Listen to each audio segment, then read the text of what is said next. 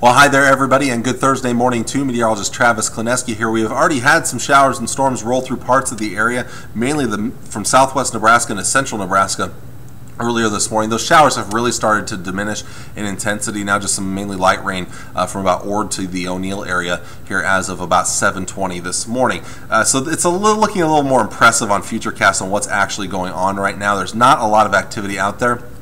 And I think throughout the day today, your chances of rain aren't overly high. Some spotty showers, maybe an isolated storm. I think more of our time is spent dry than wet as we go through the day today. Maybe a little foggy this morning as well. But with clouds around, it's going to be a little cool, but not bad actually temperature-wise with uh, warmer air in place even this morning. Uh, again, after the 5 o'clock hour, I think chances of showers and storms start to ramp back up. By tonight, I think a pretty good chance of showers and thunderstorms. An isolated strong or severe storm not out of the question, especially as you get in the southern parts of the viewing area. And then into the day tomorrow, still some off and on chances of showers and thunderstorms. Now, tomorrow may be the higher threat for severe weather, at least the highest of the next three days. It's not a huge threat, but a higher threat because there's going to be a lot more instability out there tomorrow. And then heading into tomorrow night, still off and on chances of showers and thunderstorms. So I think that Thursday night through Friday night time frame is our best chance overall over the next couple of days.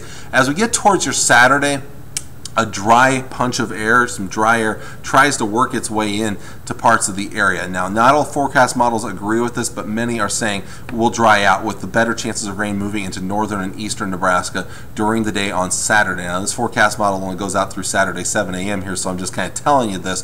But if we can get some sunshine out on Saturday, we may get a little bit warmer on Saturday, maybe push into the 70s, maybe enough instability to fire off a late day shower and storm uh, Saturday afternoon. And uh, we'll show you some of those risks here in just a bit. Now, first off, the rain chances. Now, this is one forecast model, so you got to take it with a grain of salt. You know, you see a number like 1.61 in Grand Island. That doesn't mean you're going to get exactly an inch 61 of rain. This is the American forecast model, the GFS. This one is kind of on the lower end of all forecast models uh, going through Sunday. That's when our rainfall should come to an end is on Sunday.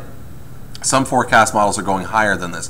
What I'm saying is my thinking is still pretty much the same as yesterday. I think one to three inches of widespread rainfall across the area. But then you're going to get those localized areas that get under some good thunderstorms and maybe pick up four or five inches of rainfall before it's all said and done between now and Sunday. So what I'm saying is good rain on the way. Because it's going to fall over a long period of time, flooding isn't a huge concern, and in fact, with the dry ground, a lot of this is going to soak into the ground, especially that first inch or so. So, again, I don't think flooding is going to be a major issue. As for severe weather, it shouldn't be a major issue either. Later today and into tonight, we're looking at that marginal risk mainly in northern portions of Kansas. The higher risks are going to be farther to the southwest here, so I'm not worried about a lot of severe weather. Uh, large hail damaging winds the main threat. In fact, that's going to be the main threat the next three days. Tomorrow, again, the best chance we see some severe weather would come tomorrow. There's a slight risk down across northern Kansas, extreme southern Nebraska, and a marginal risk that gets as far north as Interstate 80. Again, maybe a couple of isolated reports of some large hail, maybe some stronger wind gusts with some of the stronger storms. Uh, the more widespread chance could potentially come on Saturday. It's a marginal risk, though, of severe weather, so I'm not expecting a big outbreak or anything like that, even with such a dynamic storm system here. Uh, but again, with that increased chance of some, some instability with some sunshine, that's why that marginal risk reaches a little farther north Saturday. So for today, temperature-wise, mid-60s up north. With everybody's got a chance of some showers and some isolated thunderstorms today.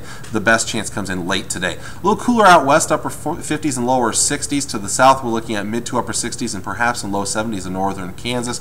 And to the east, looking at mid to upper 60s to near 70 degrees for afternoon highs. Again, any kind of sunshine would probably increase our temperatures just a little bit today. Again, better chances of rain tonight, tomorrow into tomorrow night. That's our best chance over the next couple of days, is that Thursday night through Friday night time frame. Then we may see some sunshine on Saturday. Better chances of rain start to shift north and east, but still a chance that we see something on Saturday. A 50-50 shot Saturday night, and then a, down to a 40% chance of just showers on Sunday as we get the cooler side of the system working in here, and showers will kind of work their way on out of the area during the day on Sunday. It will be windy on Sunday. After that, Monday through Wednesday, that time frame does look dry, but potentially I may have to look at throwing in a chance of rain Tuesday and Wednesday. Some forecast models are hinting at it. It doesn't look like a great chance at this point. The other thing I want to point out is those overnight lows starting Sunday night get down into the 30s. We could potentially drop below freezing in some locations, so we are looking at that chance in some spots. So I know a lot of people have started to plant gardens and flowers and things like that. Well, may want to hesitate on that one because we could still see some sub-freezing temperatures. Even down the road just a bit, there are indications we may see more cold air on the way uh, towards the end of the month. So again, complicated forecast, a lot to talk about there as you've heard me over the last five plus minutes. But again, I think the big story is the big rains on the way. So there you go. There's your forecast for this Thursday. Until next time, I'm meteorologist Travis Klanecky, and I hope you have a fantastic Thursday.